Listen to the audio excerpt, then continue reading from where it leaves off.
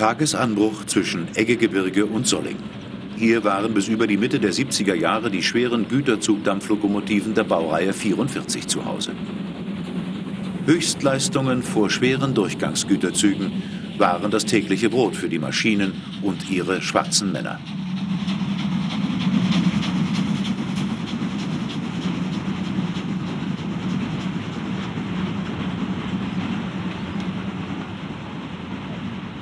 Heute erinnert nur noch die Altenbekener Denkmallok 44 389 an vergangene Zeiten. Aber im Gedächtnis von Eisenbahnfreunden und Lokpersonalen lebt die Vergangenheit fort. So auch bei einem altgedienten Lokführer. Mein Name ist Heinz Fabian.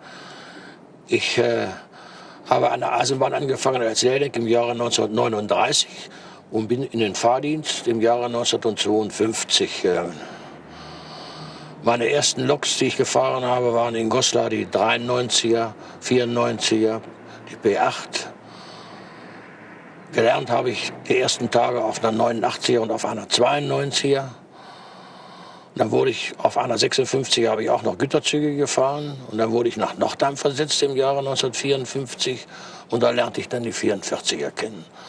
Und meine erste Fahrt auf der 44er, das war nur eine Leerfahrt von Nordheim nach Nörten ungefähr neun Kilometer. Das habe ich gerade noch so geschafft. Und in Nörten musste ich einen Zuckerrübenzug mitnehmen bis nach Nordheim. Und da hat der Lokführer mir noch helfen müssen, dass ich die Kohle überhaupt bis vor der Rohrwand gekriegt habe. Denn äh, ich konnte vielleicht 2,50 Meter Watt schaufeln, aber keine 4 Meter wie bei dieser Lok. Also der Kohlenverbrauch bei diesen Loks richtete sich natürlich nach der Anhängellast.